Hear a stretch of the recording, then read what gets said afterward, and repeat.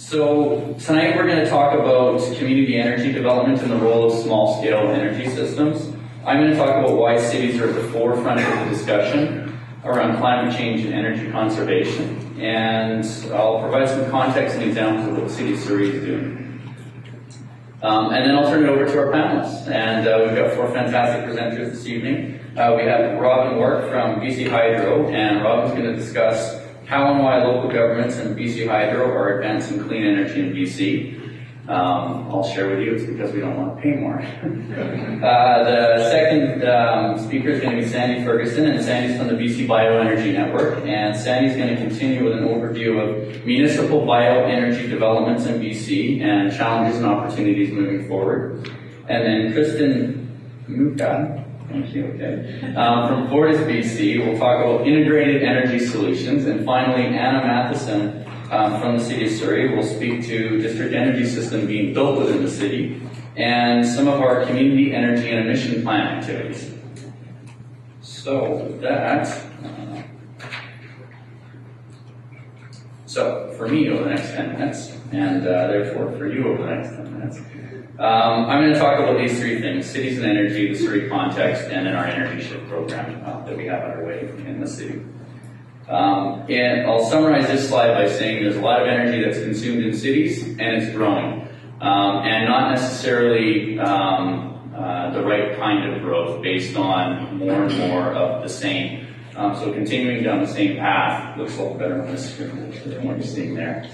Imagine it better. Um, continuing down the same path isn't going to produce the right results, so we need to alter course and direction.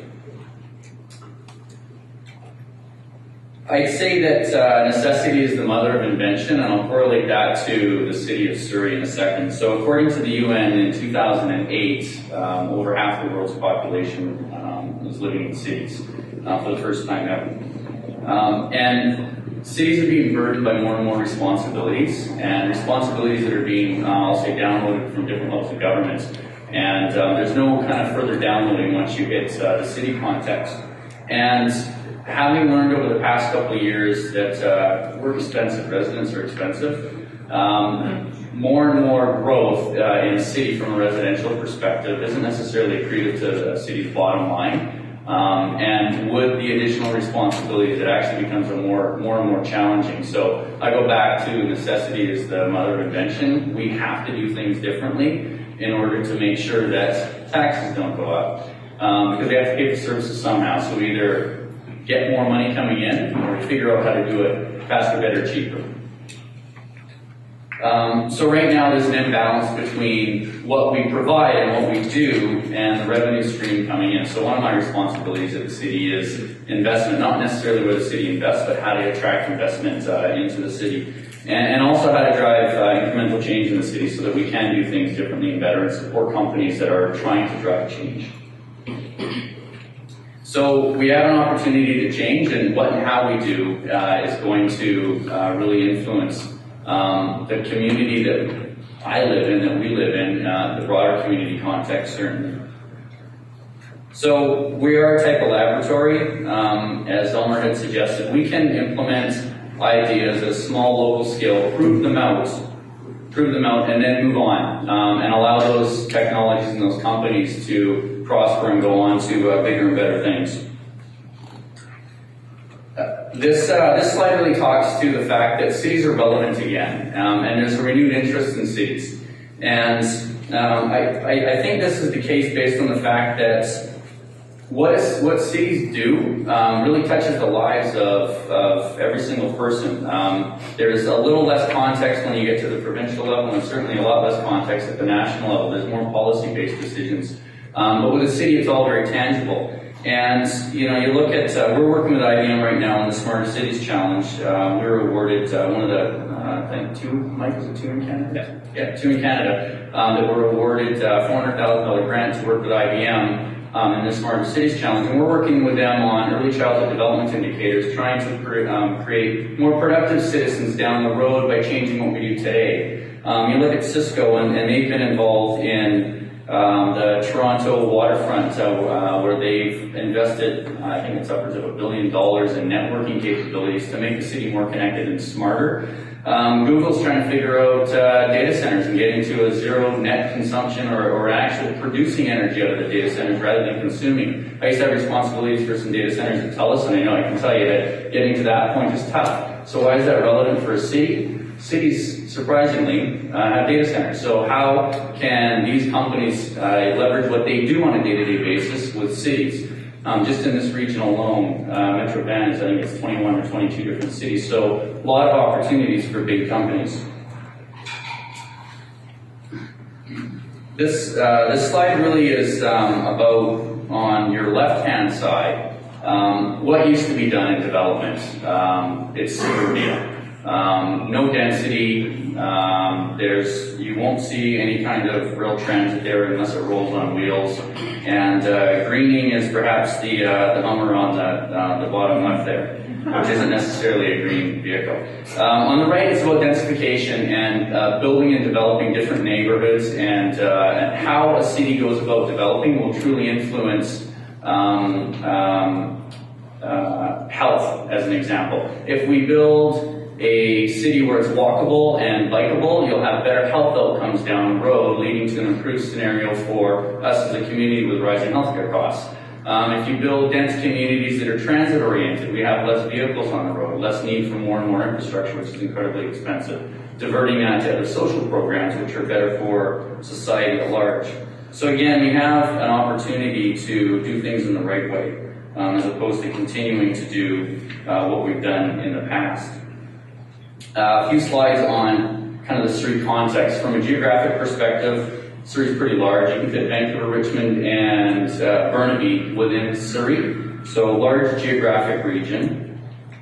Um, we've had rapid population growth. Um, we're the second largest city by population in, in the province. We're the third fastest growing in Canada. Um, and uh, with no signs of, of slowing down. And as I said before, that has significant cost implications more people, more services, more cost burden to the city. Um, so we have to kind of change what and how we do. Uh, but there's also an opportunity. So we have an opportunity to influence how people uh, conduct activities on a day-to-day basis. We have an opportunity to influence 500,000 people by simple policy changes, and I'll get into a couple of them. Um, because policy changes sometimes uh, have a negative perception, and that doesn't necessarily have to be the case. Um, so I'll get into a couple of them um, in a minute. Uh, this slide, it's uh, top left, it's the faces of Surrey. Um, we've got a young population. 30% um, of our population is 19 or younger. Uh, I believe that we have 70,000 uh, kids in, or students in uh, K to 12. It's the largest and the only growing school district in the province. And I believe the stat is um, one in two high school students will be graduating from the city of Surrey in the next, it's a short amount of time, if not right now. Um, so one in two graduates are going to be from Surrey. Um, a third of our land is agricultural land, uh, so it's protected land, and that becomes important from a food security policy and perhaps a bio uh, energy policy as well. And the city has 50% of the available, or almost 50% of the available vacant land um, in Metro Vancouver is is within the city. So opportunities for growth, but again, smart growth and the and uh, the right type of growth. So on to um, our energy shift program. So this is about taking action in the community, in our corporate operations, and in business. Um, and this, uh, we put this together, I, am going to say over the last two years because I've been with the city two years and it wasn't there when I started and it is now. So over the last two years, um, and, and the intent of this was to take a number of different programs that we had underway and consolidate them into a single framework touching three pillars, supported by and underpinned by our sustainability charter, um, so I'll talk to uh, I'll talk to each of these um, to a certain extent. Um, and, and our program and our approach was recognized by the Clean Energy Association of BC, um, and we were awarded the Community of the Year award for our multidisciplinary approach to sustainability and energy conservation. So I'll talk to each of these uh, in a second. Um, so I'll use City Center as an example. So City Center is the red dot. Um, yeah, so northeast uh, end of the city, and it's it's where if you've been on SkyTrain, it's where it ends. Um, this is a this is a view of city center. Um, we're right now um, going through a transformation, and uh, we're creating from the picture on the left of suburbia to the picture on the right with the density from a previous slide. We're going to a very high dense area. Um, we're increasing the, the grid network um, within the region so that um, there is more and more people and more movement and simpler movement and walkable and, and uh, um, uh, uh, cycling uh, based network. The population here is projected to double over about the next 15 years. Um, 4,000 new homes have been built there, in the, or I'd say high density homes have been built there in the last decade. And there's no signs of abatement. There's about um, 40 projects underway right now, so there's a lot, well, you don't see them here, there's a lot of um, uh, cranes that are um, there building buildings. Um, this is our, and so the city, the private sector is investing a lot of money, and the city's investing a lot of money. So what you see here is uh, is our library, new library in city center, and uh, just, you know, I guess it would be on, uh, well, this is looking south, so on the north side of this, there's going to be the new city hall. Um, so we're putting efforts into densifying an area by putting more and more people there. Um, turning to the uh, um, uh, biofuel facility, um, this is, uh, we're basically developing a biofuel facility and we're going to produce fuel from the waste um, that is created within the city. And the waste is, and the fuel is going to be used to fuel our, our uh, fleet vehicles.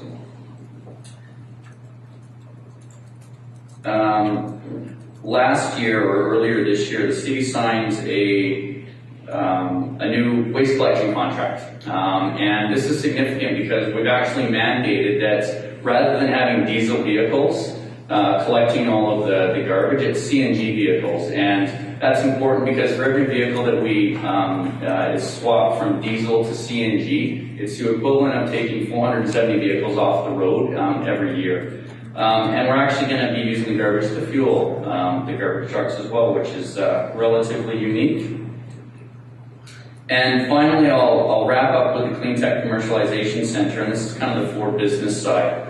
Um, the uh, Elmer had mentioned that uh, he was on the Mayor's Clean Energy Advisory Network, and, and through this network um, and working with SFU, BC Hydro, and PowerTech, we signed an LOI in kind of circa 2008-ish no, 2010 timeframe, sorry. And uh, with one of the, um, um, the mandates to create a, um, an environment that's going to foster growth in the clean tech sector.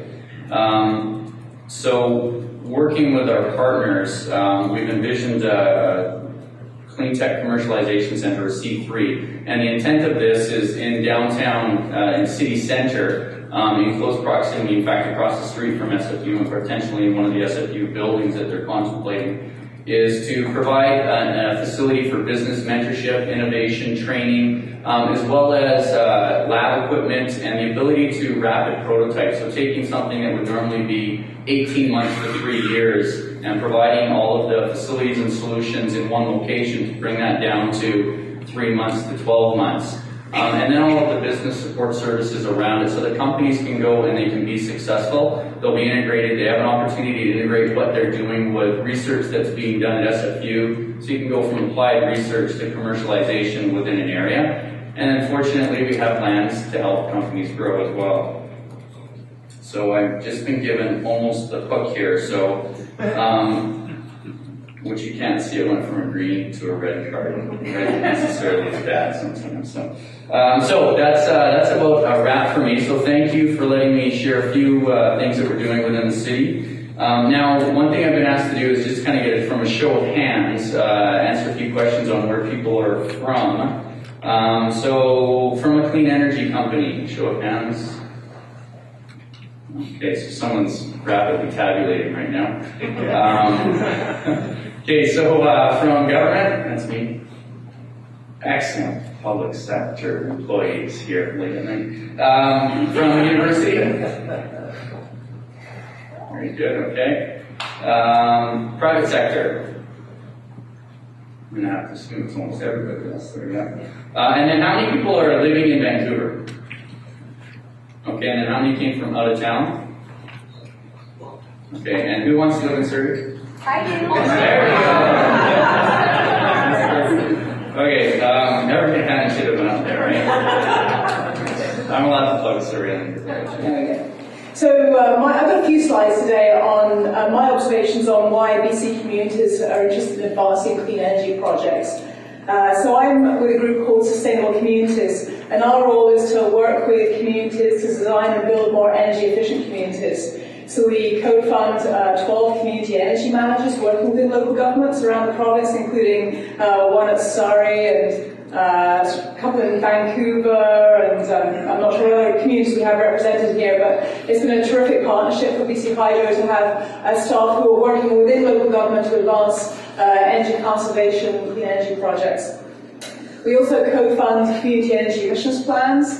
Uh, we've co-funded about 30 across the province, including one again in Surrey. Uh, we're currently starting, about to start up in uh, Burnaby, some in Richmond, um, and elsewhere within the, um, within the Lower Mainland. So through that work, we've had a chance to really work with local government and understand uh, what's motivating them to get involved in these clean energy projects. Uh, I think we have seen a real shift uh, over the last three or four years in local governments who are interested in advancing clean energy projects. And I thought I'd, I'd spend my 10 minutes or so here uh, just sharing some observations from my experience on what's motivating local governments to get involved in these projects.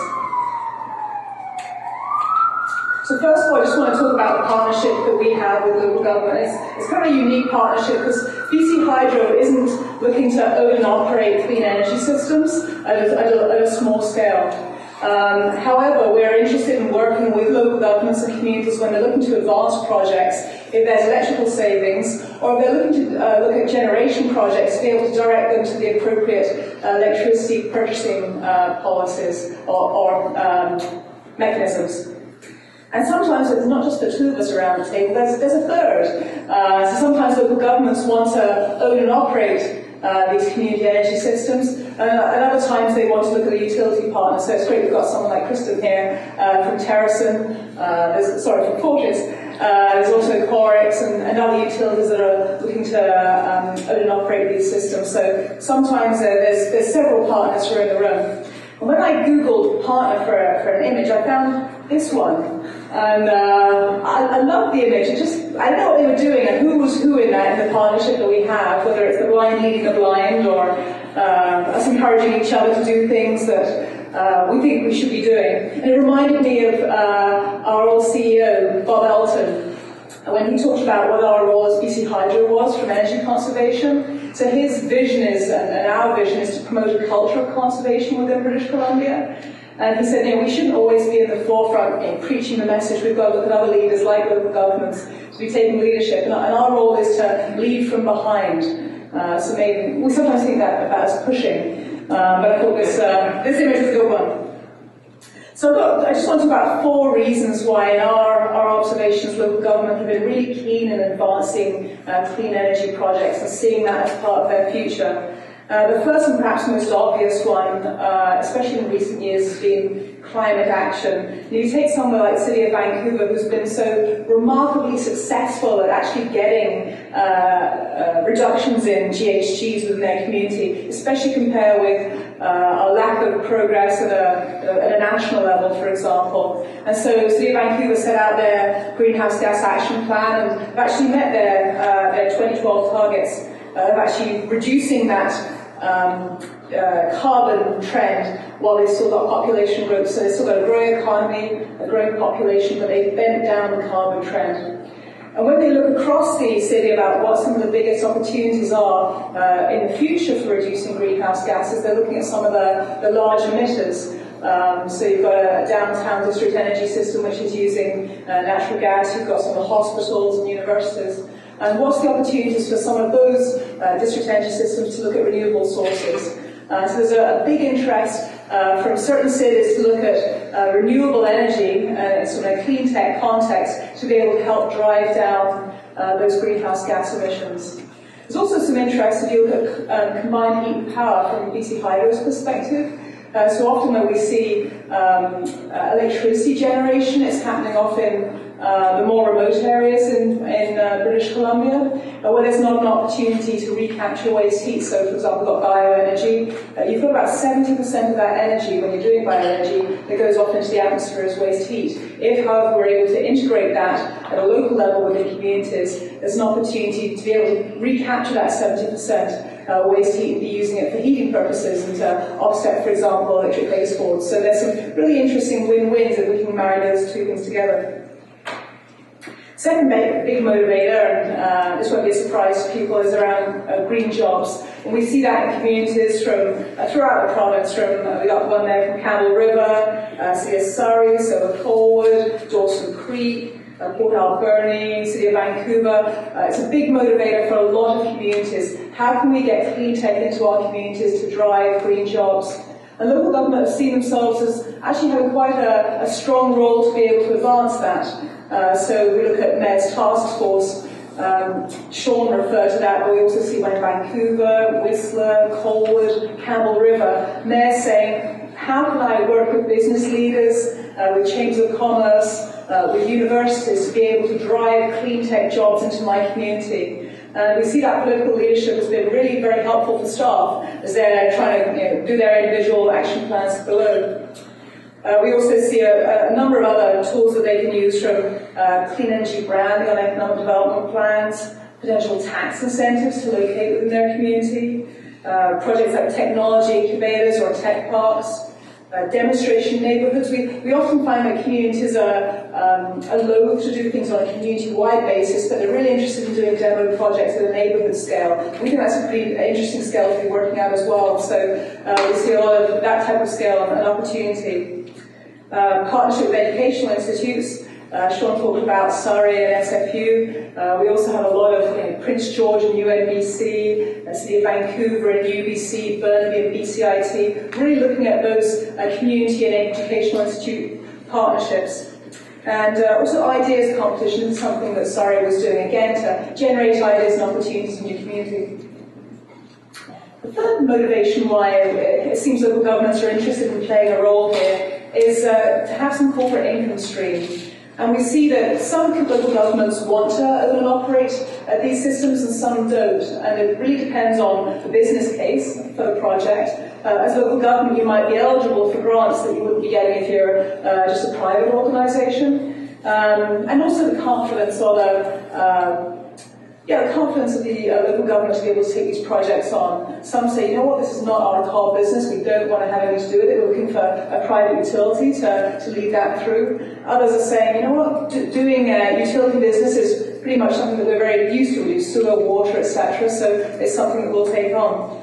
And uh, so these are examples of, of projects uh, that, are gener- that have been currently owned and operated uh, by the local governments and have a, an income stream in. Uh, the one on the bottom right is particularly interested where local governments are looking at resources within their own community and how can we recapture those, those things they're already managing, whether that's uh, putting um, uh, microhydro on the dams up at, uh, at uh, Capilano and Quitlam dams that sort of Metro Vancouver is looking at to be able to generate electricity from the existing resource, whether it's taking waste products, whether that's uh, wastewater treatment or sewage heat recovery or, or waste to energy. How can we take those existing products and be able to generate uh, energy for them for, uh, for jobs, for income, for uh, greenhouse gas? And then the final motivation that we see is around addressing energy resiliency issues. This is particularly in uh, smaller communities or communities on, say, Vancouver Island, where they have quite a few outage issues. And so we're seeing quite a lot of interest from those communities to how can we use local resources to generate electricity in our own communities to potentially offset those outage issues. I've got a couple of photos here from Port, Halbert, Port Hardy, which is looking at biomass, Tofino, which is looking at wastewater treatment. Like I say houses, we're looking at microhydro. So what are local resources that can be used locally uh, to be able to reduce uh, energy uh, vulnerability uh, for outage issues that are coming through?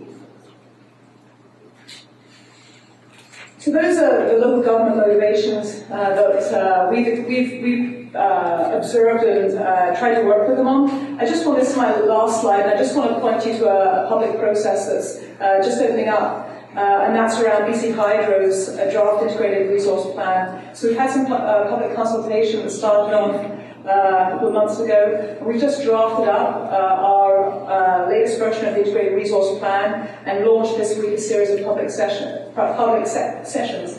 So if you're interested more in BC Hydro as us as a corporation, uh, how we're looking at uh, BC's long-term electricity needs, and there's an electricity gap between what we currently have and how demand is projected, uh, is projected to rise, uh, how we're looking to meet that. I'd really encourage you to look at this website and follow up on that plan see Hydro's um, the direction we're going. And as somebody who works within Power Smart, one just interesting nugget is that uh, when I first joined Hydro four years ago, the energy plan required that 50% of new load growth be met through conservation. A couple of years ago, that was put to 66% of new load growth, uh, and this plan talks about 78% of new load growth coming from conservation. So uh, we're constantly seeing that conservation projects remain the most cost-effective things uh, that we can do to meet that electricity gap going forward. Uh, but then in addition to that, uh, there's projects that are articulated in this plan that you might want to look at around Site C, doing renovations to some of Hydro's facilities, and then purchasing uh, energy, electricity uh, from some of the small projects that we've been talking about today. So I welcome your questions. Thanks for your time.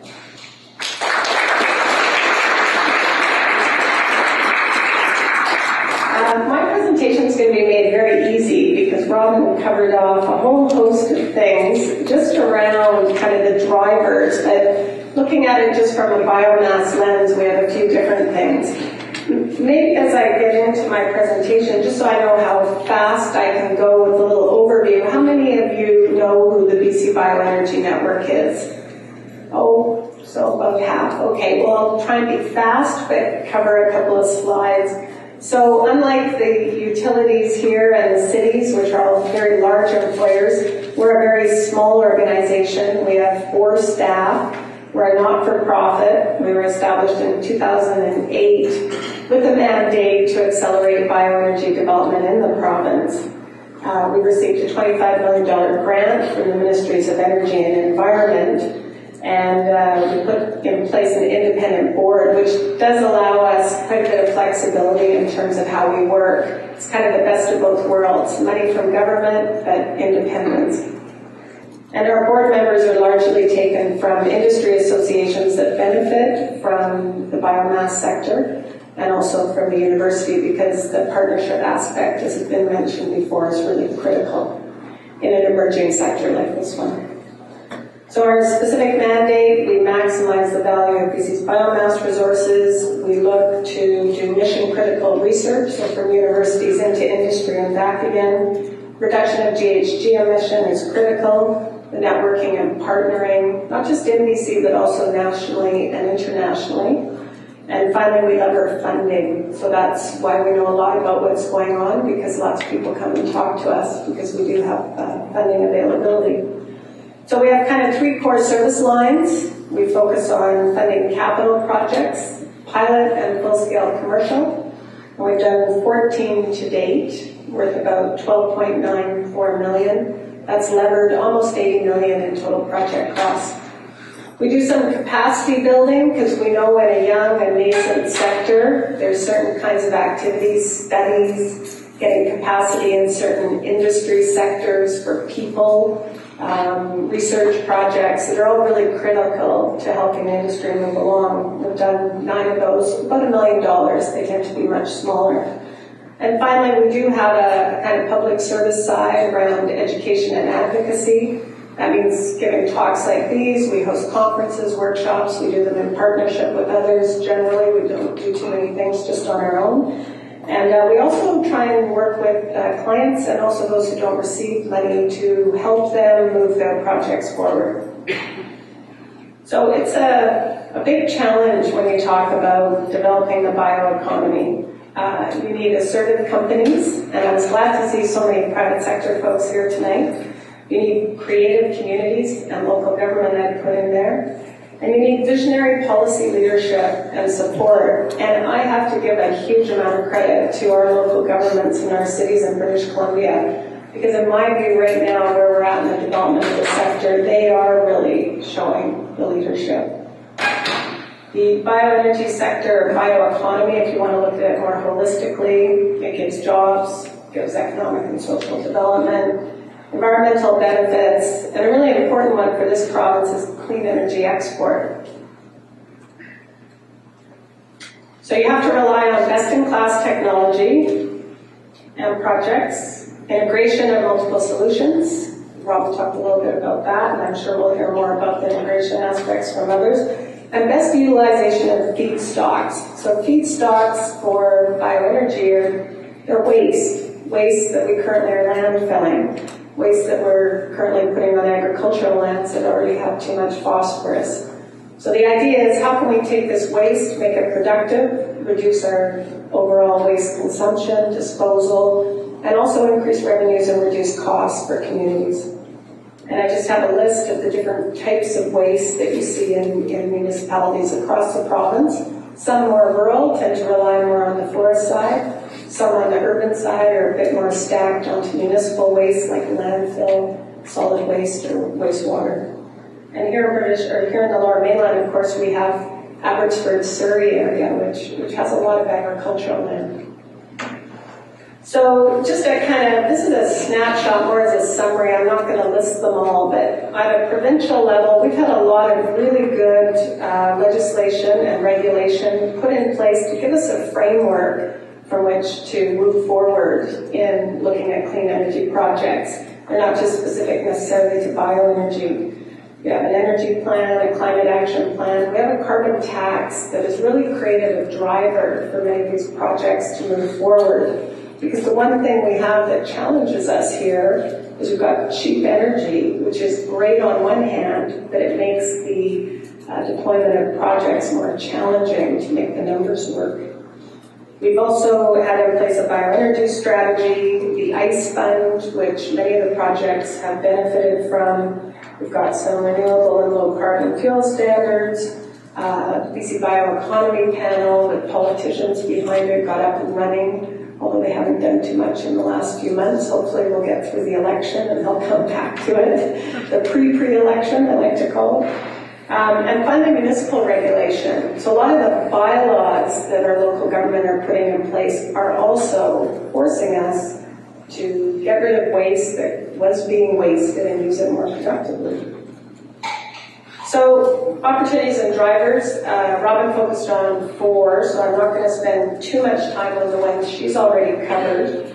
Um, the one thing that I would uh, just add a little bit more is there are some real differences between large urban communities and smaller, more rurally oriented. So here in the mainland, we see the drivers really around climate action accord, the carbon tax, the competition to be the greenest city. I love that. Like Surrey is so out there and Vancouver's out there and it's Clash of the Titans and you got the small ones, Richmond and Burnaby and I mean this is all such wonderful, healthy competition for evolution of this sector. Um, in the small and medium-sized communities, there's a lot more around economic diversification, moving away from rural forestry-based economies, uh, also using your local biomass. Lots of areas where they've got biomass just around the urban area. They need to do something productive with it. Um, they also have fire risk. And finally, I, it's not really part of an urban environment, but I do want to talk about the First Nations and remote communities. It relates to what Robyn was talking about outage. Well, these communities are typically not on any kind of clean energy right now. They don't have the benefit of clean hydro. They don't have the benefit of cheap natural gas. They're on expensive dirty diesel and propane. So there's a lot of opportunity for those communities to integrate uh, hosted economic and social benefits as well as utilization of their local resource and an opportunity to have a clean environment. So some of the challenges, I, I mentioned them earlier around the low gas and uh, electricity prices that we have.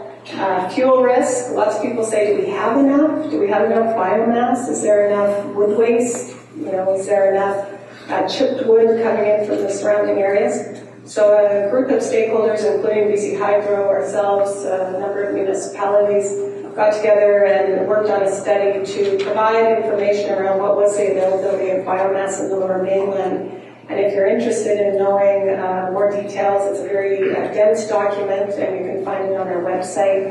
The conclusion was for some 20 projects that are in planning stages for the lower mainland, there's more than enough. Beyond that, there will have to be new strategies on the supply chain, but, you know, we're just getting started now. Uh, Financing and business models, those are two key areas. Uh, We're starting to see the municipalities more and more interested in moving to PPP out of necessity. I think they make sense because I'm not sure, in particular for new areas of technology deployment, that you want to put all the risk inside of a local government. So I'm encouraged to see there being more creativity around that. Um, lack of in-depth knowledge. Again, we're at the early stages of this sector, so we don't have a lot of reference projects close by to look at. So you go over to a country like Austria where you drive around and within an hour you'll go by five district energy biomass-based systems. And uh, it's pretty easy for neighbor to neighbor to see what's happening, to understand what the opportunities, challenges, and the deployments are supposed to look like. We don't yet have that here. It's starting to happen. Uh, and I think in another couple of years, we're going to look very, very different. And I look forward to hearing from Anne's presentation about where Surrey's at with that. Um, and finally, we have a bit of policy uncertainty right now. I think I have a pretty green group here. So I think we are a bit at risk in this province right now of rolling back some of the really uh, innovative uh, policy leadership. So if you have a strong view on this, write to your um, MP, your MLAs, uh, write to your Ministry of Finance, put articles out. I mean, we, we are moving forward because we did take leadership and we shouldn't be scared off to maintain it. So I have to whip through five minutes. Was that five or one? I got five. Okay. So I'm going to be super fast on these. It was just to give you a bit of a flavor for what's out there. You've got biomass heat power systems in BC. Uh, Robyn talked a little bit about that. You've got small scale and district energy systems that are based on conventional or advanced combustion, as well as the more innovative technologies through gasification, like our homegrown uh, Winner Nexterra. Traditional combustion systems for CHP, the bigger ones that have grown out of our forest sector CHP business. Greenhouses have used them for a number of years, particularly out further in the valley. And finally, gasification systems for CHP. And it's pretty exciting what's happening out at UBC. I don't think I need to tell you about that. Um, just a quick snapshot, we have five biomass-based DE systems in the province that have been deployed, uh, smaller systems, individual or microgrids, seven, and about 40 projects in planning, so there's a lot more coming down the pipe. And I will say the municipal and local government sector is leading the charge here. Um, this is an interesting project, landfill gas to electricity utilization over in Nanaimo, a real leader in the regional district of Nanaimo. This project uh, will substantially reduce their greenhouse gas reduction, and it's done as a PPP with the regional district of Nanaimo owning the collection asset and Cedar Road owning the utilization. And phase two will use a storage bladder to significantly increase the revenue so that they can control uh, the flow of the gas and get the best price for it. A second project, I'm, I'm not going to talk much because uh, Kristen is going to mention it, Columbia Shuswap Regional District and Fortis Partnership. Again, the local government on the collection side, Fortis owning the cleanup, and they will use that cleaned up biomethane and uh, put it through their uh, pipeline as part of their green gas offering. Um, this one is Fraser Richmond Soil and Fiber or Harvest Power. The company is rebranding to its parent's name. Uh, exciting project. It'll be up and running uh, this September. Uh, same thing with the Columbia Shuswap project um, at Fortis. This one is taking green uh, lawn, uh, food and yard waste, converting it uh, to electricity using a very innovative high solids anaerobic digestion. You could also potentially take it to the next step on uh, transportation fuel, and it diverts about 27,000 tons from landfill, uh, 6,000 megawatts of electricity, and powers 700 homes through the BC Hydro Sustainable Communities Call. So this is exactly the kind of stuff that the cities want to see happening. And I do want to mention Metro Vancouver is a partner in this as well. Forgot their logo. I don't have much time, so I'm going to skip over that one. It's a bit more about taking something that was done in the forestry sector and an application in local government. We need to see more of that. Um, I just want to mention the CHP project. I think that's being deployed in the next month. Is anyone from Nexterra here? know, I think it's within, within the next month, which is really exciting. That's going to be the first time that we will have that type of project here. And then over on the island as well, ICC is working on organic or separated waste to transportation grade fuel uh, using three separate processes that each one individually has been done on large scale, but for the first time we're going to take it to small scale.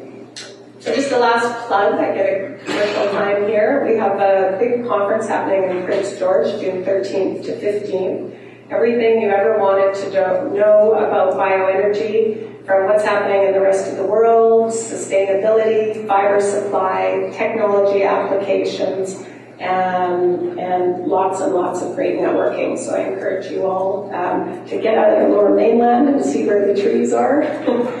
And finally, next year in 2013, there will be another big initiative uh, taking place here, the Global Methane Expo, which is a methane reduction workshop. Uh, this is going to bring in countries, I think they have around 50 countries in the developing and developed world that will be here. It's an opportunity to showcase the best of what we have in BC and also get some partnering going for international development. So I would say progress is being made, that continued leadership, commitment, and resources are all needed. Partnering is essential, uh, development, financing, markets, public-private partnerships. And it's just, it's a race, and it's a race that I want to see us win. So thank you very much.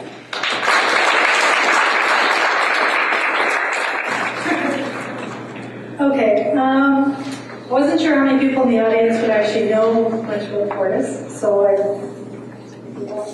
so I thought I'd start off with a snapshot of what Fortis does in the province of BC. So we're uh, the major natural gas supplier within the province, um, but we also have an electricity service area, and it's up in the Kootenay region in the interior. And you can see on this map here, the blue area shows all the um, areas where we cover natural gas service, and the yellow is where we have the electricity service. Um, anywhere that has both, we have both, obviously. So what that translates into is, in the province of BC, we have assets uh, worth over $6 billion in operation. And we have 2,300 employees that uh, maintain and operate those systems. And we serve over a million customers in 135 communities and 91 First Nations. And best of all, we're 100% Canadian owned. So our parent company, Fortis Inc., is actually based out of Newfoundland and owns gas and electric utilities across Canada. So what you don't see on this slide is, uh, some of what I'm going to get into is the areas that we're expanding, where we're taking our existing product line and we're expanding it into new areas. And some of those, um, Sandy's covered off, for example, on the biogas, but I'm going to expand even further than that and show you the But starting with our traditional uh, services. So the natural gas network has been in, uh, existing here in BC for over 100 years. And we expanded in 2009 into Whistler. And Whistler had a propane system that was delivering its energy.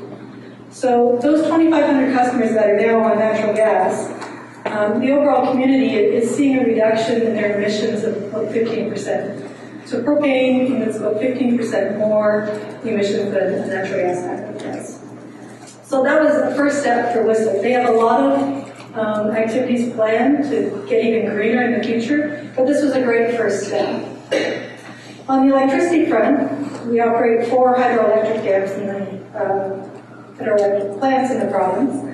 And we're currently expanding one of those plants in uh, the Waneta expansion. And that's located south of Trail. And it will add an additional 335 megawatts of electricity for the province.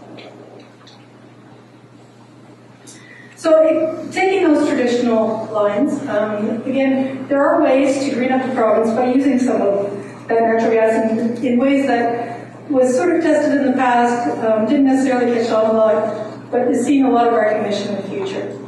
And from the present, we actually are doing these things today. So natural gas vehicles, a lot of, um, Can't recall it was uh, Sandy or, or Shaun that mentioned that uh, diesel is, is quite polluting. If you convert a vehicle from diesel to natural gas, you can reduce your greenhouse gas emissions by 20 to 30 percent. So that's really significant given the amount of emissions we get from our transportation sector in the province.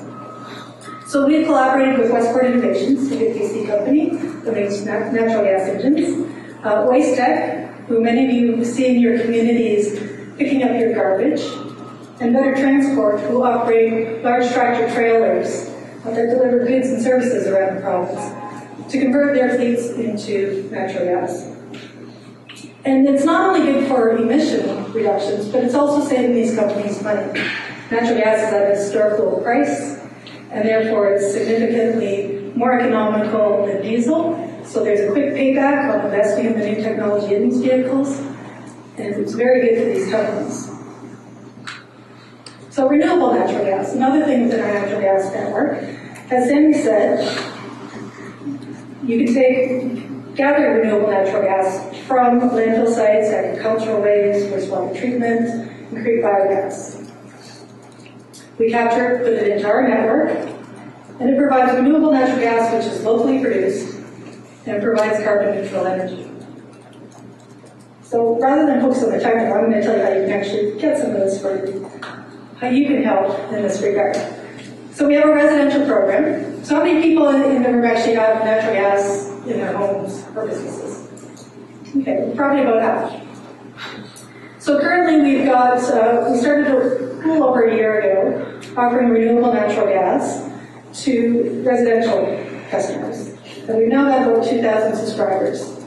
Just since May 1st, Air Miles has introduced a new program that will incent you to add uh, renewable natural gas into your natural gas consumption. So typically it's about 10% of your overall consumption for the year. It costs you maybe about $4 more a month. But you get these extra air miles. So if you're an air miles collector, you're going to get 10 air miles a month. And if you haven't registered yet, and you register between now and July 3rd, you'll get an extra 30 air miles bonus. But we don't just want residential customers to utilize renewable natural gas, we'd like to see the commercial sector as well. So as of March 1st, we launched a commercial program for renewable natural gas. And as you can see here on the right, um, one of our first clients to take it up is the Opus Hotel here in downtown Vancouver. So they're using it to promote that, hey, they're trying to be great corporate citizens, adding renewable natural gas into their portfolio, how they get energy into their hotel. And in recognition for doing that, we're adding their name on our website. They can have coupons to give you a discount to stay at their hotel and get directly off of our website. We have them decals that they can put on their windows, give them additional advertising to recognize the great contribution that they're making into the community. And of course, you can see there's other early adopters, and we certainly can see other communities. We've, we've got certain municipalities that are now taking this up. And they see how that they can green up their city facilities that are util- utilizing natural gas. And some of those communities, they actually have landfills. So they're looking to take up most, if not all, of the renewable natural gas that's going to be created from their own landfill into either the municipal buildings or to the commercial clients that uh, reside in that community. So moving on to some some areas that are not in our traditional networks. And uh, this is what we term thermal energy systems. And here we're broadening beyond just natural gas and electricity. We're looking at other ways of producing heat or uh, power. So uh, some of these were touched on in the last few presentations. Um, and we see that we can do this either on a district scale or for an individual building on a, what we call a discrete scale. So on the left side of the screen, you see a single building, and there's a series of interconnected pipes that are reaching into the ground and drawing heat energy from the, the ground. The liquid that flows through those pipes and into the building provides renewable energy that gets replenished every year. So the sun is the heating of the ground, constant heat there to draw from, through the use of heat pumps and heat exchangers in the building, we can draw that heat, upgrade it to the temperature required for the building, and distribute it throughout the building. These systems have an upfront capital cost. And in order to um, encourage more of these systems to get there, into new buildings and even some retrofits, we're taking on that capital cost. So as Fortis BC will invest in that system, we'll then own and operate it, and that will enable more and more of these types of energy systems to get out there. On the district scale, uh, you can see that there's a variety of energy sources you can use, and some of them have already been touched on. So they range from biomass to geoexchange on a large scale you can do. You can take waste heat from uh, the refrigeration of um, ice rinks. You can do that from any industry application, that's just emitting waste heat into the air. And I'm going to show you a couple examples of these. So this first one is the Hudson Building in Victoria, BC. It was uh, a, reno- a renovation of the existing Hudson Bay building, and they converted it to new residential units, 152, and about 150,000 square feet of commercial retail. We own the geo-exchange system in this building, and by installing a geo-exchange system, they were able to reduce up to 44% of the energy usage and up to 55% of the greenhouse gas emissions. So it's a great success story. We're also doing this in the public sector with school districts. And with school districts, um, Delta being our first one, they wanted us not to look at just one building within their school district, but they wanted us to take a portfolio approach. So in the Delta School District, we looked at 19 of their facilities that all needed new energy systems. They had old aging boiler equipment, and they wanted to go as green as possible. So we looked at how we could upgrade that equipment through a combination of high efficiency boilers and geo-exchange systems, and through our energy modeling and offering utility service, charge them the same amount in energy that they pay today. So we take a look at their business as usual cost for energy. We say we're going to upgrade all this equipment, and we're going to stay within the budget that you've got today, so it's affordable. School districts are having real challenge. They don't have money to upgrade their equipment. So this is a great solution, and we're seeing many school districts sign on for this type of program. In Kelowna, this is one of several district energy systems that we're working on. We have great support from the city of Kelowna, as well as several customers along the route of uh, the line that you're seeing there, the blue line, where we intend to put the district energy system in place. And also from Tolko, the local sawmill. And that's the flame that you're seeing on the left side of the screen. That's where we'll get heat from. So in their sawmill process, they have waste heat that we can utilize heat hot water, distribute throughout the community, and heat various buildings. And they range from municipal, municipal buildings to uh, strata residential buildings to commercial buildings. We've done our rate design. Uh, the overall system is going to cost us somewhere between 20, 20 and 35 million dollars. And we're currently about to submit our application to the BCUC that will approve the rates. So that's an important aspect of uh, offerings in these areas. And that is that the energy rate that we charge to customers is reviewed by the third party utilities commission here in the province. So they ensure that we're charging a fair rate for energy and everybody is on a level playing field. So we think that's a very good model, it's very fair to the customers, and it's good for us as a company.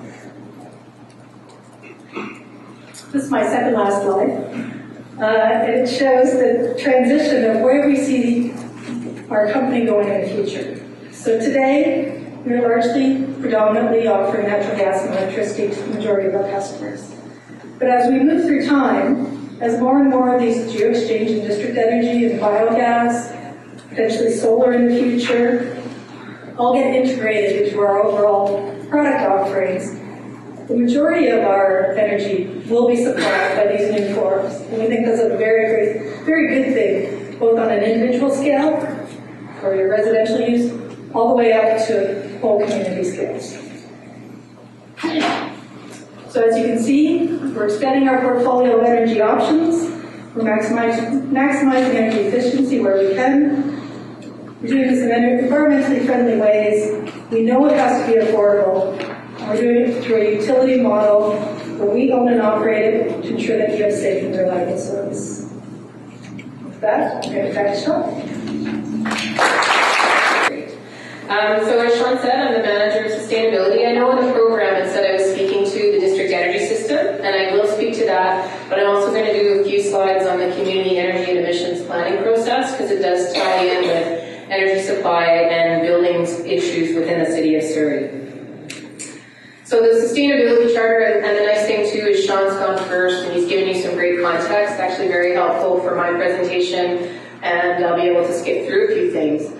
But the sustainability charter is a vision for Surrey becoming a more sustainable city. It was endorsed, endorsed by our council in 2008, and it has a number of commitments, including around climate change and energy security. In addition to the charter, um, as the city as well as a number of other cities have climate change commitments, we've signed on to the BC Climate Action Charter that commits us to being carbon neutral in our corporate operations as of this year and to build complete compact communities, among other things. We also have uh, global commitments. We've signed on to something called the Mexico City Pact, which is a covenant among global cities. And um, obviously, we have legislative requirements where we have greenhouse gas emission reduction targets in our official community plan. So that came from Bill 27, which was a piece of legislation a few years back. We, um, Shaun referenced this as well, have uh, Mayor Watts and Council clear direction on sustainability. The charter is meant to be and is the underlying document, underlying policy document in the city. So it provides direction to all aspects of what we do. And then uh, I think Elmer and others have mentioned the clean energy advisory work uh, that the mayor had put together. So we're undertaking a number of things in the city of Surrey. You'll see that picture again of the compressed natural gas um, collection truck. But these things, I should say, too, take place throughout the organization. So within the city manager's office is my sustainability office, but the things we work on, including around the transit planning, uh, the walking, walking and cycling infrastructure, happen through engineering. Um, there's obviously a role of the planning and development department in terms of walkable town centers and so on. We do a fair amount of education. I see David here and others from the Energy Association. We funded a number of climate change education uh, workshops, climate change showdown workshops in Surrey schools, thinking of our young population um, in the city. And then obviously district energy, which I'll talk a little bit, bit more about. So this graphic, as Shaun um, went through, shows you how we're bringing together a number of the things that we're doing around energy in, in Surrey. So corporately, on the clean energy business side and the community action side. And I'll focus right now on the district energy. I'm glad that Kristen had a graphic on district energy, so I don't need to spend a lot of time on this. And I have to say, in preparing the presentation, I got so mixed up on heat pumps and heat exchangers that I'm glad she's already spoken to it. And, and I should say too, I'm a policy person, so uh, mostly what I'm bringing to you today is from that perspective. But uh, district energy, you know, a network system of energy to multiple buildings. So in the city of Surrey, um, the graphic that you have, the map that you see there on the right, I don't think I have um, a laser pointer, but you see the very tiny map in the far right there is the city, and then the red square is the city center. I think Shaun showed a map of that earlier. And then you see three cir- circles, uh, which are nodes, representing uh, the Gateway node, the Surrey Central node, and the King George node. And what that reflects is um, district energy strategy that we developed with funding from Hydro and Fortis a couple of years ago, where we really started to look more seriously at the opportunities for district energy in the city centre. You can see the population projections that we have there over the next 30 years for residents and employees. And you saw some of the uh, pictures as well, uh, representations of what we expect the city centre to look like as it grows over time. So we started to look at this more seriously. We've um, focused in on the Surrey Central node, where we're building a new city hall, and we have a new city centre library. We're building a civic plaza as well. So we've completed a feasibility study for that, and I'll have a few slides in a minute that shows you that system which is being built right now. We've also uh, are about to complete a feasibility study for the King George node. So kind of as an overall picture, it just shows you that we're taking a nodal approach. We're looking at opportunities throughout that area, and particularly starting with the Surrey Central node and the civic area, the civic center area, but looking at opportunities to expand the district energy system south to the King George node. So the city center district energy system, uh, I mentioned the new city hall. There's a picture of it, a representation of it in the photo on the right, and um, a graphic that shows you how that's intended. What we're doing is we're building that district energy system. It's based on a geoexchange exchange technology, so using heat pumps to extract the energy from the ground, and it's happening underneath the parkade that we're building for New City Hall. So we extract that energy and then we use the energy to heat and cool the building. So it's a fairly discrete project, but it's Surrey's first investment in district energy system and an integrated um, energy system. And I think I mentioned it's for the new City Hall, the City Central Library, which is built, and that you can see in the photo there. And then um, we're expecting and hoping to connect a third-party development that's also going up in that area, which will be a high-rise development. But I think those discussions are still ongoing. You can see um, in terms of the status, the new city hall is being built. So when they were putting the parkade in, they put, started putting in infrastructure for the district for the GeoExchange field. And um, an odd little tidbit is that I guess um, they're using some kind of drill that only we only have seven feet of um, leeway in the parkade levels, and I guess they're bringing in some special drill that drills within that amount of headroom, which to me is pretty amazing. But you can see the piping's gone in there. To um, design and construct and own and operate and maintain the district energy system, the city is setting up a corporation. So Surrey City Energy will be the corporation that does all that. And it'll be owned and operated out of the engineering department within the city. It's meant to be uh, the first, I said, in that in that kind of discrete project, but one that can expand, and, and I think it can expand in two ways. It's really um, starting with the geo-exchange with the natural gas boilers for backup and peaking, but we do see it expanding to integrate renewable energy sources over time.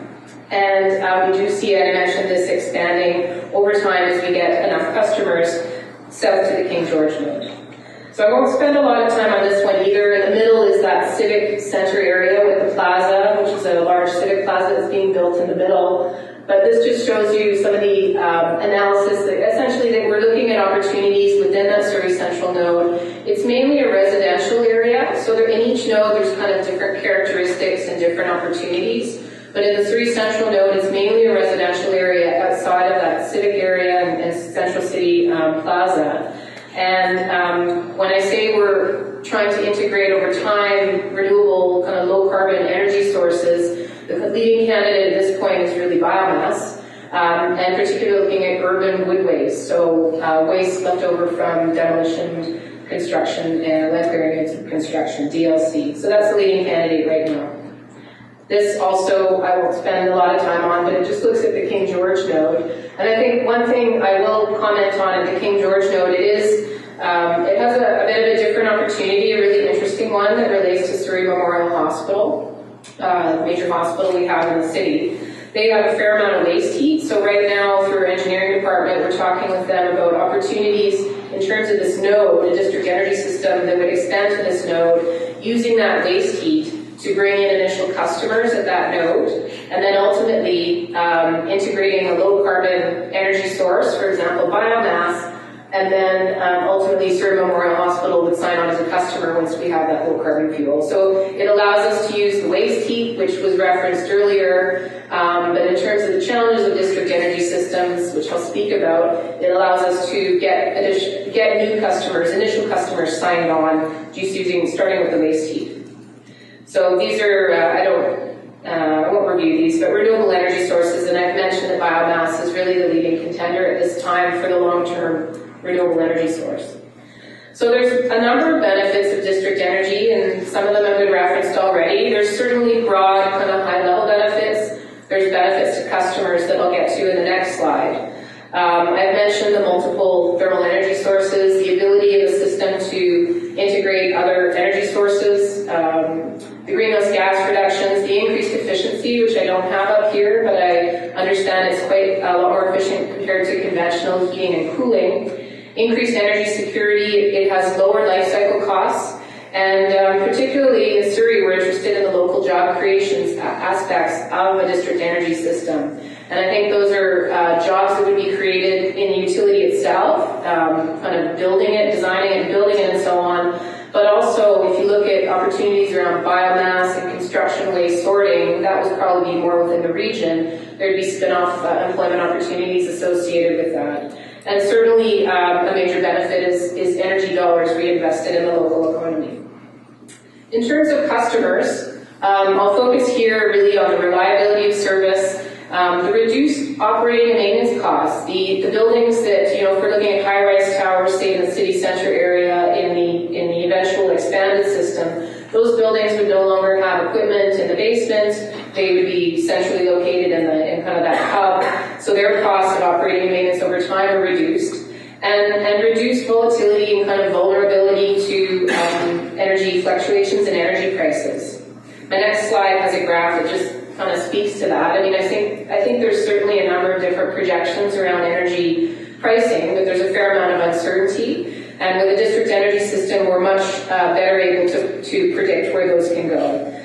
So some of the challenges, obviously, there's benefits to customers, there's overall benefits to the community, to the city, but there are challenges. Uh, securing customers, which I've talked about, there's a, a definite capital cost premium of hydronic um, hot water heating. The long-term operational costs are not considered when you're when you're looking at implementation. And I think another challenge, looking at the types of development we have um, in Surrey and I think elsewhere in the region that have electric baseboard heating installed in, in more of the high-rise developments, that electric heating would pre- preclude future DE compatibility. And by that I mean that it's, uh, I understand it's very expensive to retrofit um, for, to hydronic systems once you have those already in place, the electric heating systems. So how am I doing on time? Doing okay? Good. I don't have any warning signs yet. So that's just a really high-level overview of our Civic Center, mainly system. And in terms of the Energy Shift platform, I'll talk a little bit about, I've kind of captured it under the community action, but we are building, um, developing a community energy and emissions plan. Uh, again, we have um, gracious funding from BC Hydro for that, and it's a 25-year plan looking at uh, the OCP, or Official Community Plan, greenhouse gas reduction targets, which are uh, 33% per capita reduction in community-wide GHGs by 2020 and an 80% per capita reduction um, in GHGs by 2050. So very ambitious targets, and uh, the community energy plan is essentially helping us figure out how we're going to meet those targets. We've talked already about the growth. Uh, we've done some projections to 2040 for population and job projections, and as you can see, fairly impressive growth that's expected. And we know our energy, we know our basically our emissions profile, our energy use profile. Essentially in Surrey, a little over 60% of our greenhouse gas emissions come from transportation and about 30% from our buildings and a very small sliver from waste. We also, in the context of this plan, are looking at our energy expenditures. And we know now we have about a billion dollars that's spent on energy in Surrey um, currently every year. And that's about, um, I'm trying to remember the number per capita, but it's, um, I think it's about $1,300 per capita. We're projecting that, I should say, to double uh, in the coming years. So by uh, 2030, that's projected to double. So per household, actually it's per household, sorry, it would go from 1,300 to 2,600. We look at, uh, we're also looking at energy vulnerability, and um, I'm not sure, you know, I won't get into this a lot, but I think if you're looking at energy costs, one of the things that we're discovering is that uh, looking at the households in Surrey that are paying more than 10% on energy spending, right now it's very small, but with rising energy costs, that's expected to um, rise beyond median income. So it's an issue from a social sustainability perspective. So in, in terms of this community energy, energy shift, this community energy plan that we're doing, we launched it last year. We have a whole process of stakeholder engagement, working with staff and council. We have a good sense of where our emissions are right now. We've done some um, scenario modeling, all of which will help us develop really a preferred path. So how are we going to meet these GHG targets? And it'll cover land use, transportation, waste, energy supply, electricity supply, and demand, and so on. We have a website that we've developed, a microsite for engagement. Here's just a little graphic showing you some of the, the modeling, um, the inputs to the modeling. So it's fairly involved modeling that we're doing with uh, HB Lanarc Golder. And in terms of the issue today, in terms of community scale energy development, that community energy plan is looking at buildings, uh, renewable energy strategies. So what we, uh, what are the range of what we can expect or plan in terms of efficiency improvements in houses? So what are the retrofit opportunities? We're looking at renewable energy deployment rates. And in terms of district energy in particular, we've um, estimated, uh, we've come up with maximum and estimated DE connected floor space. So looking at different land use futures, what we can expect the, the range to be, and uh, the contribution of that to building um, building side greenhouse gas reduction targets, so tons of CO2 avoided a year. But that's really a quick summary, and I think I made it within my time. I got through all my slides, which is awesome. And I look forward to the panel discussion. Thanks for listening.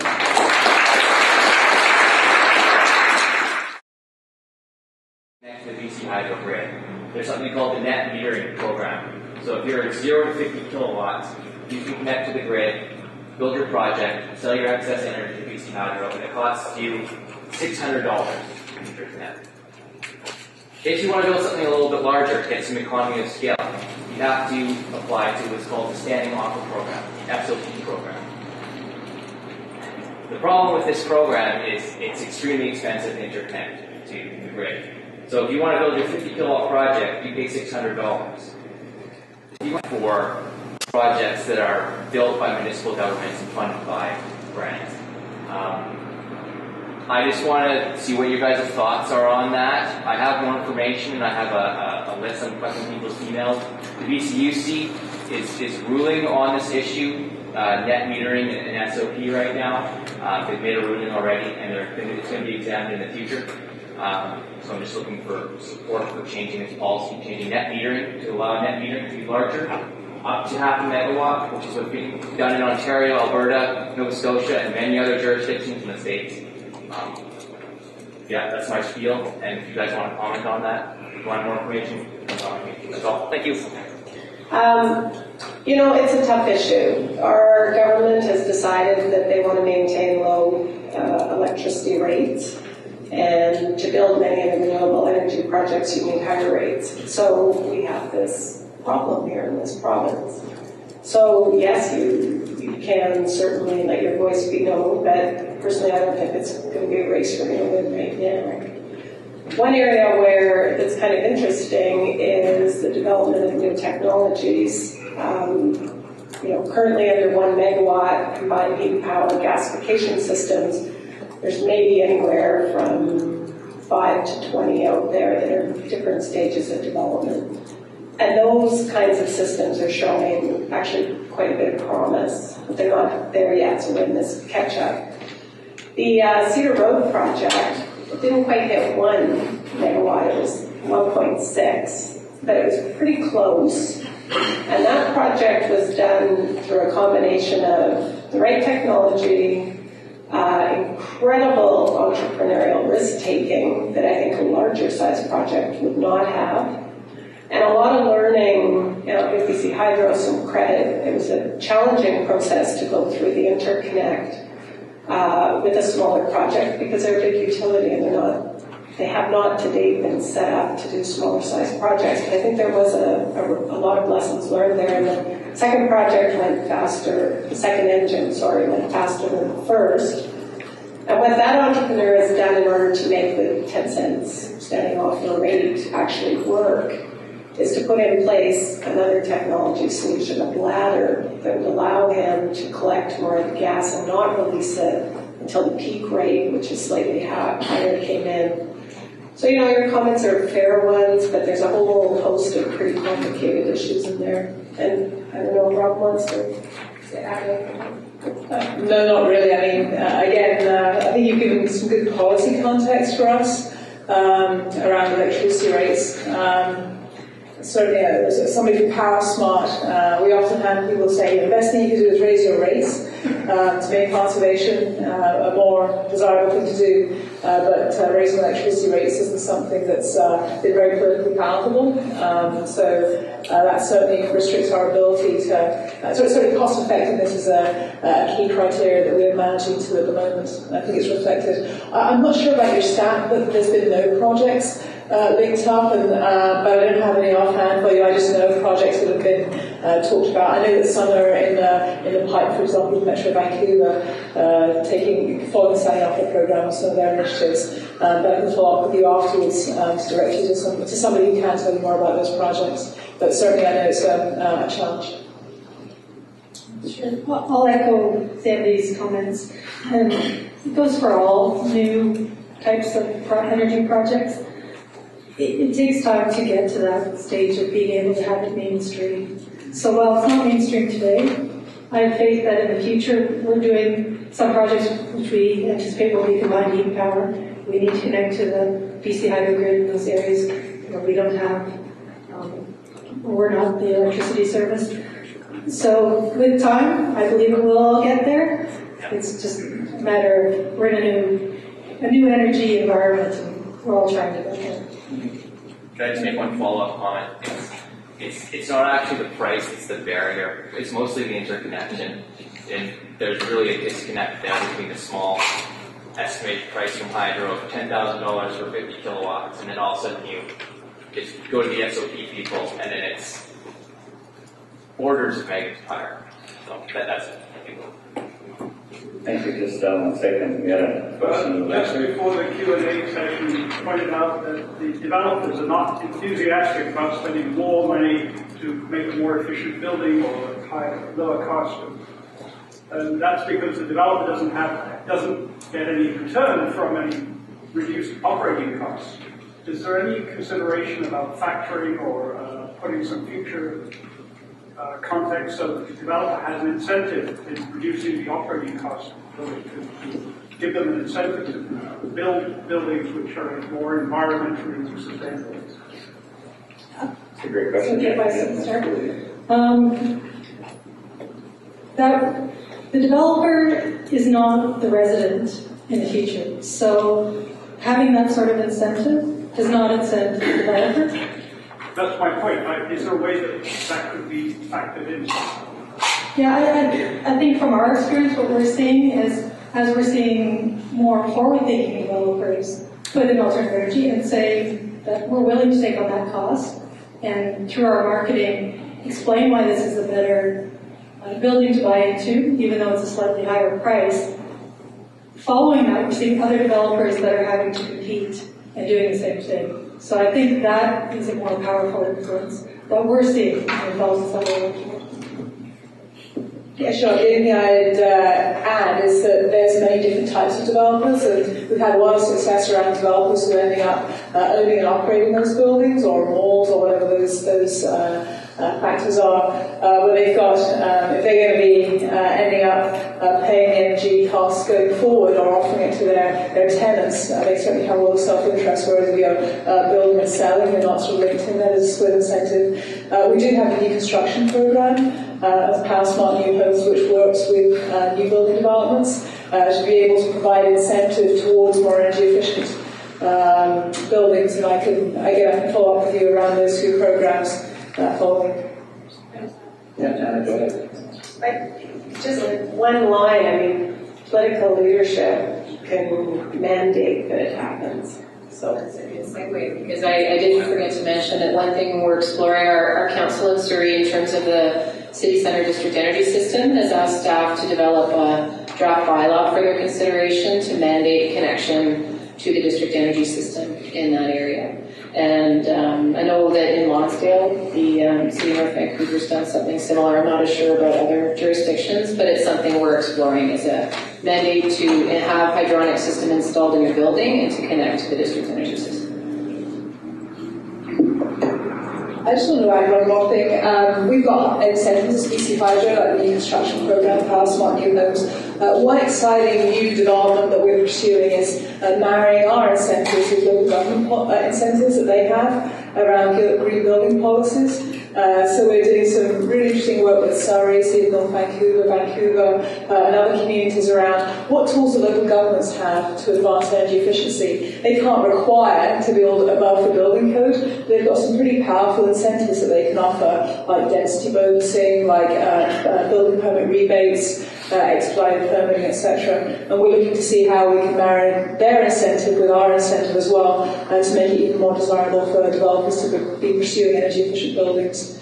And then from a, a building code perspective, a lot of local governments used to say to me, why would we uh, try and get uh, more energy efficient buildings in our community? We'd be better to lobby the province uh, to raise the building code. But Pro- Providence isn't going to raise the building code until you've got a, a market penetration of about 15, 20, 30% of the uh, new buildings being built to that higher standard. So we can work with local governments and developers and uh, folks like yourself to be able to uh, drive that uh, penetration of energy efficient buildings so that it gives the, the provincial government the confidence to be able to put those higher energy standards in place. Yeah, thanks. And I'll just, uh, one comment that I'll make is that, um, I know that, uh, the developers most likely are looking for, and we've got great developers and developers that are in North and, and they're working in Surrey now, so they kind of, they already understand the system, but they're really looking for, I'd suggest, a level playing field so that if they have a product on the market, um, they want it to be a like for like, uh, aside from, you know, the unique attributes of what they're building, um, a level playing field. So if there's a, you know, one apartment on, you know, X number of square feet is, X amount of dollars, they don't want uh, their product because they've got a DE system connection to be X plus, because then all of a sudden their, their product isn't as competitive. So I would suggest that a level playing field is uh, all of a sudden makes it a lot easier. Um, the challenge is, do you actually do you pull a policy lever to force a connection, um, or do you try and work with the developers on going to get to that point uh, themselves? So we are having that discussion and debate right now. Next question.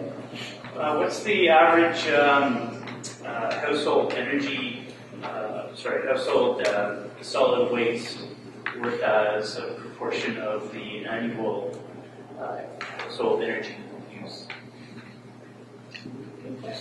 Hey, Paul, are you here to know the answer? Metro Vancouver, somebody else there? I can give an anecdotal, which uh, isn't the type of waste you're probably thinking of, but in sewer heat recovery, you need three households worth of sewer heat to heat one home. So if you're talking about that other type of waste, that would be issue. When you're talking about those discrete systems, they say have an individual apartment building or something like that, um, would you have a uh, sewer waste heat recovery plus a solid waste uh, gas generation facility? Would you tend to have both of them or just one? Uh, we have done ones like that. It all depends on economics. So our goal is to make it affordable to the end user. And if the economics work by a combination of systems, then that's definitely a, an option. At the moment, you know, we can make geo-exchange economics work. Um, sewer recovery more often in a district energy system makes sense. So it, it depends on the cost of the technology. Um, The, the sort of, in the biomass world, the combinations that are more popular in Europe are biomass with solar. So solar isn't very firm, biomass is firm, but you can get more out of the system by combining the two. So, I'm sorry, I don't have any waste for household figures, I should know. Finally, I heard the S word, solar. I haven't heard anything about that in any of these things I see in all these slides, rooftops of buildings and everything else, and we're looking at the heat from the ground, but not the heat coming from the sun. Where's the solar? Anna, yeah. Yeah, just, in our energy plan, at the last slide that I had, I was saying what we're looking at in terms of buildings. And one of the things we're looking at is kind of what the range of, I said retrofits, but also renewable uptake. So particularly the solar hot water, uh, heat pumps and other things, but solar hot water focused on what would we anticipate, what do we want to achieve in Surrey in terms of uptake of renewables. And that's, for us, that's where solar's coming into play in the, in that plan. It wasn't maybe just solar hot water, but it's solar voltaic as well. yeah. Um, we looked at solar for some projects. Again, the economics haven't worked for us at this stage. There's a lot of advancements happening in solar, so we're constantly watching it. Uh, but there is an organization, if you're not aware, of it called Solar BC that does a lot of incentives in that, in that regard and is trying to get more solar out there. I think it's just more of a matter of time, time, cost factors. Yeah, I think that's the biggest balance that I've uh, seen thus far, or uh, heard anyways, the, the cost to actually implement relative to what you're getting right now. And, you know, over time, the scale will tip and it will become more viable. Uh, David Fields, Giant Energy Systems. This question is directed at Surrey, so anybody can take the question from Surrey. Uh, again, uh, you touched on the solar uh, aspect, solar PV. Uh, the cost has come down 75% in the last three years in solar, so it is affordable. It's cheaper than coal. Um, so again, I was approached in a previous job by uh, Public Works Government Service Canada is building 500,000 square foot building in downtown Vancouver. And one of the objectives they want to do is they want to net zero electricity over here. So they're talking about, again, generating more electricity using solar, storing it in batteries basement. And this was going to be all incorporated in construction of the buildings to start in 2014, finish in 2017. So again, in your future planning for your buildings, uh, is it your plan to have it LEED certified uh, to be net zero uh, in years time, so that you're generating much energy as you're consuming. So for those who didn't hear, the uh, question was a continuation on uh, the solar panels and uh, what are the, the city's plans to integrate solar into the building and development that's going on? So um, I, I don't know yet, I guess is my answer, because we're just in the midst of developing that community energy plan. Uh, certainly the, you know, among the staff and the stakeholders and, and definitely our consulting group, there's a high knowledge, uh, particularly from the consulting side of the net zero um, building issues and requirements. So it's something we're still exploring, but I, I can't, I can't answer because I don't know. We're right in the midst of it. Yeah. I just want one other thing, I just refer people to the integrated resource planning uh, website as well. We've got some cost comparisons across the province uh, around technology at the moment, uh, which is indicating why uh, solar hasn't really been adopted in BC for electricity apart from some of these uh, demonstration projects, and comparing the cost uh, of micro hydro or, or wind and some of those other technologies that are more economic at the moment. Yeah, great. Uh, hi. Um, my question is about bioenergy. Uh, I've heard a lot about from uh, you know the panel here and then kind of out in the industry um, that it's kind of like the leading low carbon uh, option right now. And I want to, I guess my question is, is do you see that continuing or do you see it kind of as a transition? Because talking about how bioenergy is kind of limited in Metro Vancouver, it's kind of abundant right now, but eventually we're going to, you know, as we put these plants in, we, you know, the wood's going to get farther and farther away. We're going to use up all of our waste. Is there, you know, a tipping point where we start looking at others? Do you see a, a mix in the future between geo and solar and biomass, or kind of what? How do you see it going long term? Out of say just five years out Well, the biomass part, and then I'll ask my esteemed colleagues up here to, to the broader.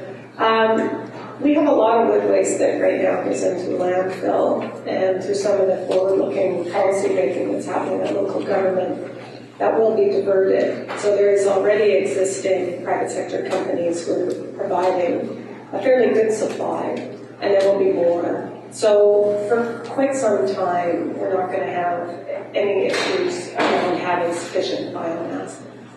At a certain point in time, uh, depending on how many more might get built in, say, 20 on the planning scale, and I'd be surprised to see 20 done in the next 10 years, quite frankly, because it's very location specific. Not every site lends itself to a biomass energy system. You know, people are interested in it. There's some good drivers that are, you know, people are getting interested in it. But it's not necessarily the only solution in town. So all those projects out there that are being looked at in that biomass, it's hard to say we also have a huge amount of biomass up against the North Shore, which is a fire hazard and needs to be collected, so that's another source. There's community trimmings uh, from the Park Service, and there's a lot of biomass in the sort of Merritt area and up into the interior, some of which is being collected now, um, the residuals. And let's be very, very clear, we're talking about waste here, we're not talking about cutting down trees.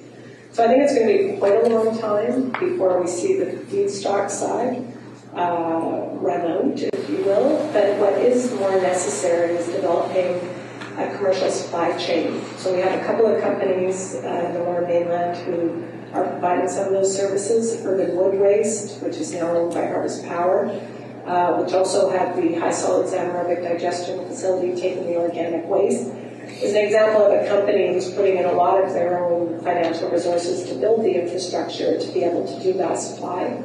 Ledcor has recently added a marine transportation business. and they're bringing in uh, wood chips from other areas by barge.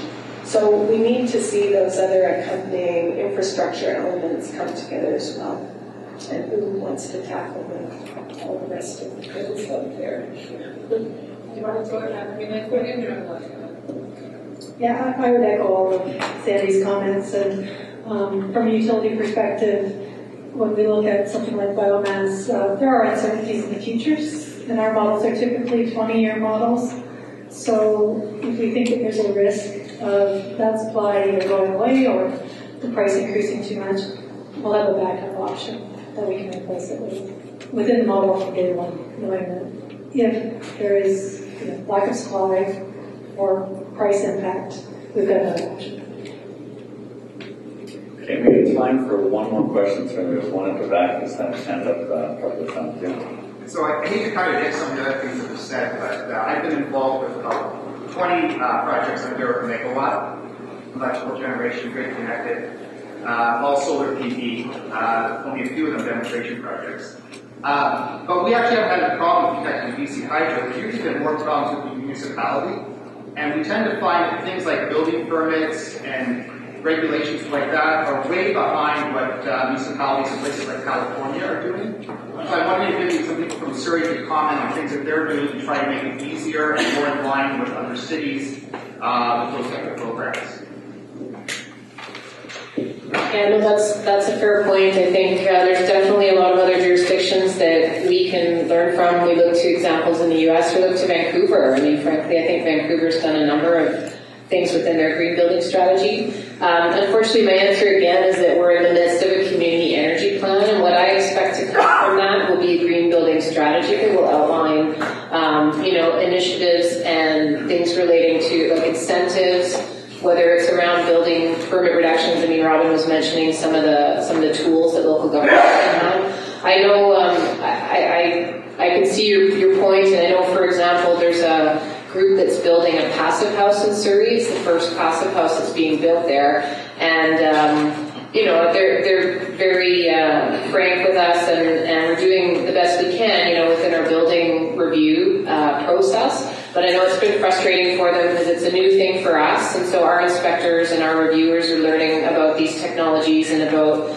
um, different there's issues around standards and so on. So it's it's a learning process for us. And I guess there's there's more to come in terms of um, the green, building strategy within Surrey. Yeah, I'd, uh, I'd say I had an opportunity to tour the, um, Harmony House in, in uh, Burnaby, and um, that they expressed similar challenges. It was it was the uh, even though uh, the city was well aware and on board and supportive, it was challenging when it came time to inspection for these alternative systems because there was no reference point. Um, and so as, as we see more of these come on, um, and we work uh, within the BC Building Code and within the local government charter, and Vancouver has their own community charter, which affords them a bit more flexibility, um, which is fantastic. We'll be able to learn from these, and I think we'll be able to see an accelerated uh, development of alternative of alternative energy solutions for home, um, and uh, that's only going to benefit uh, all of us. So it's uh, kind of um, hold on, it's coming, um, but there is a bit of a, a catch-up time frame, absolutely. Um, so before I turn it back over to Elmer, I just wanted to say uh, thank you to our, our panelists this evening, and I'd like everyone to give them a round of applause.